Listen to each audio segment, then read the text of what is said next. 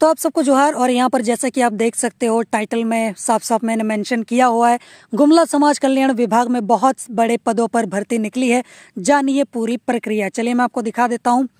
तो गुमला समाज कल्याण विभाग भर्ती 30 पाँच 2023 तारीख को शुरू हुई थी और इसका जो लास्ट डेट है वो 15 छः 2023 तारीख को है। और बाकी क्या क्या प्रोसीजर है और बाकी सारी डिटेल डेटा मैं आपको यहाँ पर देने वाला हूँ। तो इतनी सी न्यूज़ नहीं है, इतना देखकर यहाँ पर बीच में इस वीडियो को छोड़कर मत चले जाना।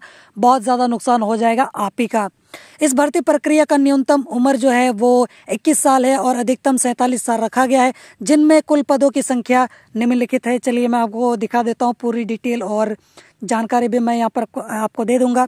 तो गुमला समाज कल्याण विभाग भर्ती के लिए शैक्षणिक योग्यता किसी भी मान्यता प्राप्त संस्था या कॉलेज से दसवीं प्राप्त दसवीं पास की उपलब्धि प्राप्त होनी चाहिए। तो यहाँ पर आप देख सकते हो पद का नाम गुमला समाज कल्याण विभाग।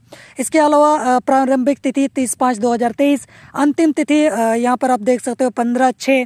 2023 यानी कि आज है, बारह तारीख, तेरह, चौदह, पंद्रह, तीन दिन बाकी हैं।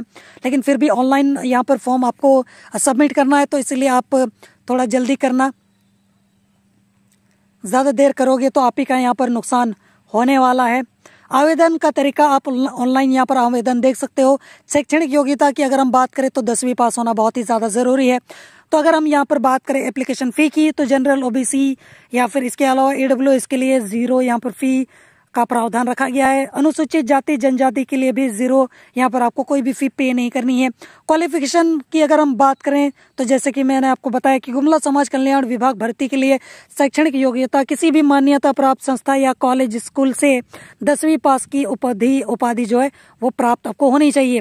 एज लिमिट की अगर हम बात करें तो यहाँ पर मिनिमम एज इक्कीस साल और maximum forty seven age age relaxation की अगर हम लोग बात करें तो योग्यता के आधार पर आयोग में छूट होगी, अब किस तरीके से होगी, इसके बारे में ज़्यादा डिटेल दी नहीं गई है। अब नोटिफिकेशन और नीचे जो मैं वेबसाइट यहाँ पर मेंशन कर रहा हूँ, उस पर आप जाके बहुत सारी डिटेल्स डेटा वहाँ पर चेक कर सकते हो। तो यहाँ पर आपको कौन कौन से डॉक्यूमेंट्स रिक्वायर्ड होंगे, उसके बारे में मैं यहाँ पर डिटेल दे देता हूँ।